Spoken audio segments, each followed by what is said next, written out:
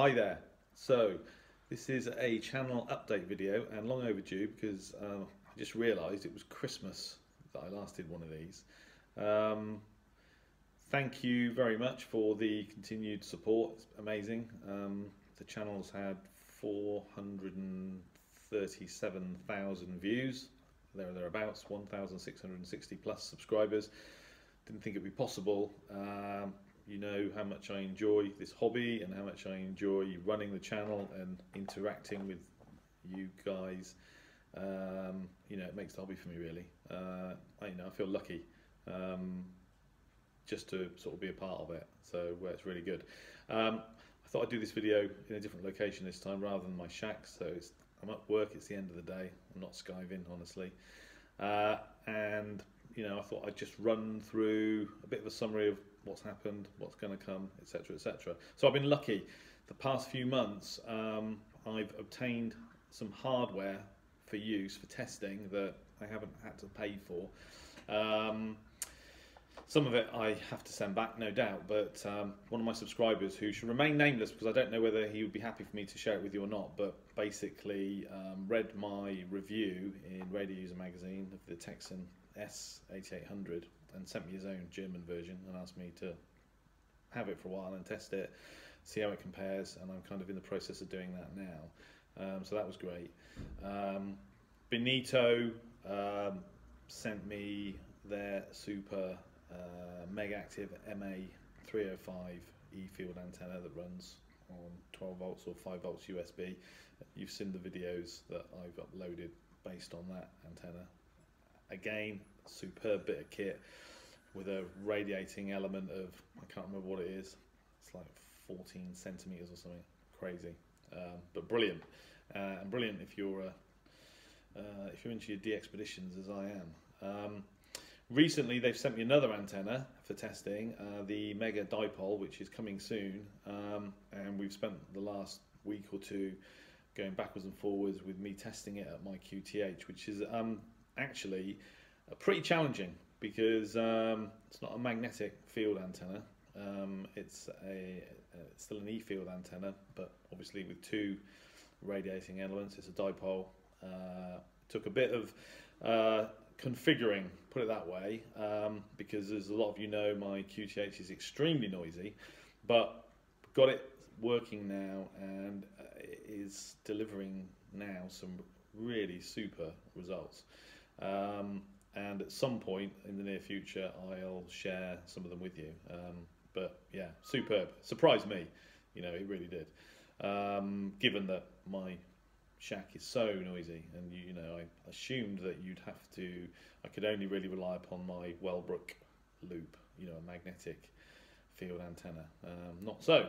So uh, that's an interesting development, and I'll share some of that with you moving forward. Um, also, SDR Play, um, John Hudson um, contacted me, uh, as did George, the editor of uh, Radio User Magazine, and they sent me an SDR Play RSP1A for testing and to write a review, which I did, which went down really well. Uh, fortunately for me, I got to use the uh, uh, receiver, I still have it.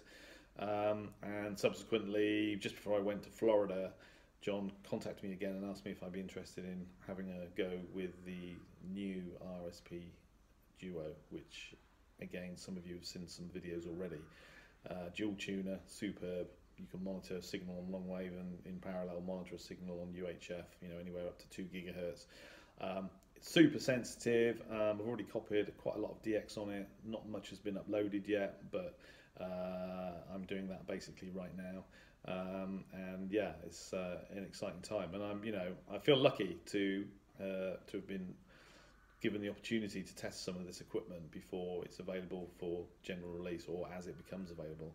Um, you know, and I have to, you know, I think the agreement is that you know I would write reviews and stuff, uh, which I've done, which I enjoy, so that's all good. Um, yeah, so you know, the past few months have been busy really testing I've spent as much time testing other people's equipment as as my own.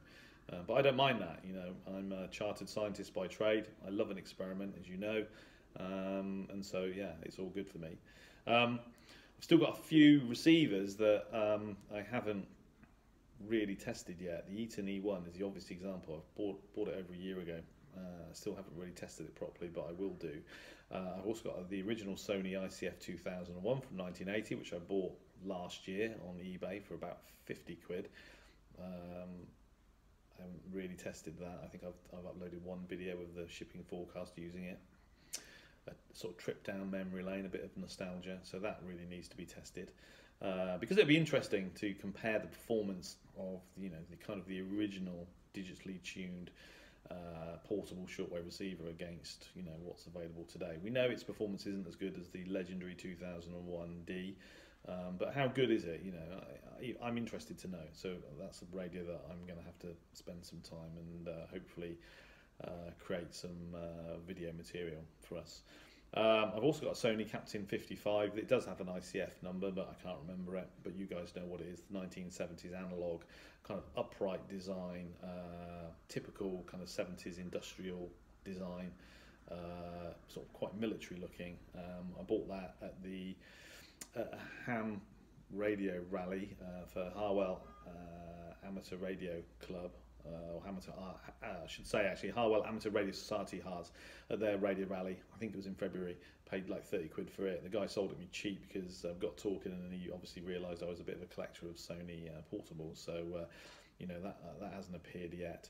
Um, the I've, I've still got a Tecsun PL880 which I've literally switched on once which I got for Christmas and hasn't seen the light of day since then. So uh, you know that's another radio that uh, is going to have to be aired at some point. Um, Tam has been trying to convince me to take that one to Brazil, and he's probably right because I think enough work has been done now to demonstrate how brilliant the XH data D808 is.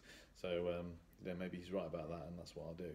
Um, so a few receivers that you know haven't really appeared on the channel, but you know will do. Uh, you know, I keep meaning to get around to it, um, but uh, right now I'm kind of busy testing the SDR uh, play, RSP Duo, uh, and a few other bits and pieces. Um, so you know what's so what's in terms of what's coming up. I, have already got a number of videos in the can, so to speak, comparing the S, the Tecsun S8800 uh, against the XH Data D808 uh, out on my DXpedition using the uh, Bonito Megactiv MA305 antenna some really interesting results. Bearing in mind that you know the S8800 is a great receiver, but it's pretty expensive. I can't remember what it costs. Is it like 300 pounds? And then you've got the XH data, which I think they've everywhere's run out of stock. I got mine for 60 quid. So you're talking about you know five times the price. You know what's the delta on performance? Well, obviously, as I'm sure you can imagine, it's not a factor of five. But um, I've got reception videos using the same signal test, comparing directly those two receivers. So that's coming, and that's coming pretty soon. Um, in terms of transatlantic medium wave DX, I'm so far behind uh, with my um, band recordings. Um, I must have 20 or 30 band recordings that I haven't even analysed yet, and of those that I have analysed, I've got at least another 20 or 30 videos of medium wave DX, uh, transatlantic medium wave DX that hasn't appeared uh, on the channel. Um, so you know, I'm, I'm, trying to kind of work my way through those. Whether I'll ever have the time to uh, analyze all those recordings, you know, it's not looking very likely. But the videos that I have extracted from the recordings that are sitting on the hard drive on one of my computers, I will try to upload. Um, you know, for completeness at least, you know, I don't, I don't operate a logbook, so I don't write anything down. The channel is basically my logbook. So recordings of uh, stations that I've copied, if they don't appear on the channel, then effectively my log is incomplete. So you know, at some point they have to go on there. Um, so that's kind of about it, really. Um, my ham radio career has really been a bit of a non-starter. Um, I got my foundation ham license back in October before I went to Brazil last, um, and I've set up the ELAD, uh, obviously because it's a transceiver, um, and I purchased a tunable whip antenna, a kind of mobile solution. Um, tried it in the back garden and nobody could hear me on 5 watts, although the SWR was superb on it. Tuned up great, but I think it's just a whip antenna sat on a tripod in a back garden in a built up area. You're transmitting with five watts. Is it really five watts? Maybe it's only three or four watts, and basically nobody can hear me on any band. So um, I then uh, got some advice from Graham, Radio Cruncher. Mentioned it to him. He sent me the details for an inverted L antenna, which I constructed and set up, and I couldn't get the SWR down below five.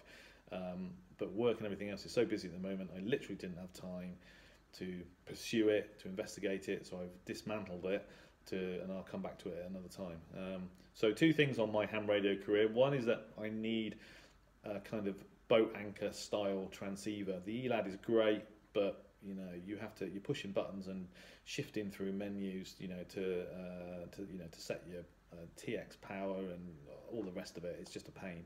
It does work, but it's a pain. So uh, at some point I need to buy a, a, a traditional transceiver. Uh, and I need to figure out what I'm going to do about an antenna. In the meantime, my Baofeng uh, GT3, uh, using that, I've made QSOs on 2 meters and 80 centimeters. Um, so that's nice, but ultimately, me being me, I want to be heard on HF. So uh, I've got basically hardware issues 100% uh, hardware issues, uh, you know, transceiver and antenna that need sorting. And at some point I'll do it, um, but I'm too tied up with work and I'm too tied up with everything else I'm doing on, on HF RX to uh, have the time. So uh, yeah, I'll have to come back to that. Um, in terms of trips coming, my trip to Brazil, we originally intended it was originally January, uh, then it was March, and then it was June, and now it's basically end of August, mid September. Um, it won't happen later uh, uh, than sometime in September, um, likely to be end of August. Uh, and so on that trip, I'll be going back to Rio Capine, back to the Amazon jungle, taking, I will probably take the RSP 1A because it's very light. Um, I don't think I'm going to drag the RSP Duo there, um, but I'll take the RSP 1A, which is superb for a expedition out in the middle of nowhere because obviously it's USB powered.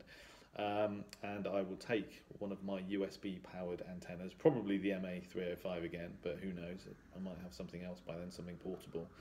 Um, and I'll take a portable receiver, and that will probably be the PL880 and give that a run out there, see what we get. Um, other than that, I'm going to a conference in France, in northern France, uh, the first week of July, which is definitely on. So again, I will probably take uh, the SDR RSP1A and a portable and have a think about what antennas. Um, and then I'm going to be in the United States at some point, probably at least once between now and the end of the year. So there's a few trips coming up. Um, and so I think that's about it. So in you know in the meantime, you know as I said, thank you very much for all your support. I'm really grateful. I didn't ever imagine this could you know the channel could turned into something as big as it has. Um, you know, it's still only a tenth of the size of some of the big boys like Gilles, uh, etc.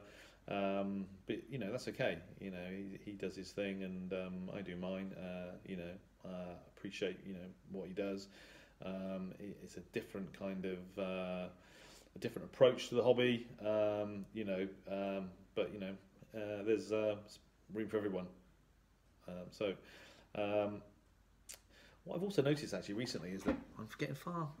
I mean, this isn't an invitation. I'm getting far fewer thumbs down now than I was previously. So I don't know whoever was up to uh, that. I've stopped. I probably shouldn't have mentioned it. You know, uh, sod's law. But uh, you know, the, the, there's a general wave of appreciation these days. Um, so that's great. Uh, on the downside, uh, I need to apologise because I really have not had enough time, spent enough time on you, you guys' channels. Um, you know, you make the time uh, to come and look at my stuff, and I don't always come look at your stuff. You know, at the moment, I'm kind of looking at I'm, I'm, looking at videos on other channels about once or twice a week. Uh, unfortunately, that isn't going to change, and there's two issues. One is that I'm so busy at work right now, uh, and uh, and I have when you you know I have 1660 plus subscribers. It's impossible to get around uh, to everybody. Uh, I wish I could, but it's just impossible. So uh, I try and uh, those that take the time to look at my channel, you know, I try to reciprocate, and I do it kind of once or twice a week. But I do appreciate that you know I'm not visiting uh, other channels as often as mine has been visiting, and you know I sort of feel bad about that, but there's no way around it. you know, it is what it is. So um, I hope that that's okay with everybody. Um, but yeah, in the meantime, um, I wish you all fantastic DX. Um, yeah, there's obviously stuff. You know, I'm I'm trying to put out a couple of videos every day, which is, a bit difficult, but I, I'm, I'm, I'm averaging between 50 and 60 videos a month. So, you know, uh, I'm trying to keep the momentum going. I know it's you know it's a bit of a struggle because obviously I have a full-time job as well and a family and all the rest of it. But I'm trying to, uh, well, for the past 16 months or so, that's kind of where I've been averaging between sort of 50 and 60 videos a month. And um, I will endeavour to, to continue to do that. Um, and so, you know, it's quite a lot of work, but obviously I love it. So that's not an issue, uh, it, but it, it means a lot to know that it's appreciated by other people. So you know, my grateful thanks to you guys for your continued support and you know and the fact that you keep watching. Uh, and I will do my best to make the videos as interesting, entertaining, as informative as I can. Um, so you know, uh, that's basically all I can do. So uh, yeah, so I don't think I've forgotten anything. Um, I think that basically covers it. Uh, you know, what can I say? Thank you very much, and I wish you the greatest of DX. Cheers.